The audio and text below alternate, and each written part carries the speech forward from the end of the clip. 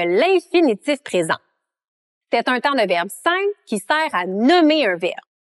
Par exemple, sauvegarder, accomplir, comprendre et devoir sont tous des verbes à l'infinitif présent. Ce qui est particulier d'un verbe à l'infinitif présent, c'est qu'il s'écrit toujours de la même manière. Par exemple, dans les phrases ce jeu, tu peux le télécharger et ces jeux, tu peux les télécharger. Télécharger ne varie ni en personne, ni en genre et ni en nombre. Il existe quatre terminaisons possibles pour les verbes à l'infinitif présent. ER, comme dans regarder, connecter et jouer.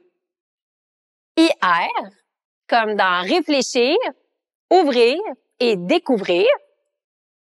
OIR, comme dans voir, apercevoir et vouloir. Finalement, RE, comme dans écrire, apprendre et rendre. Voilà, tu peux maintenant reconnaître différents verbes à l'infinitif présent. Pourrais-tu trouver cinq autres verbes qui se terminent par IR?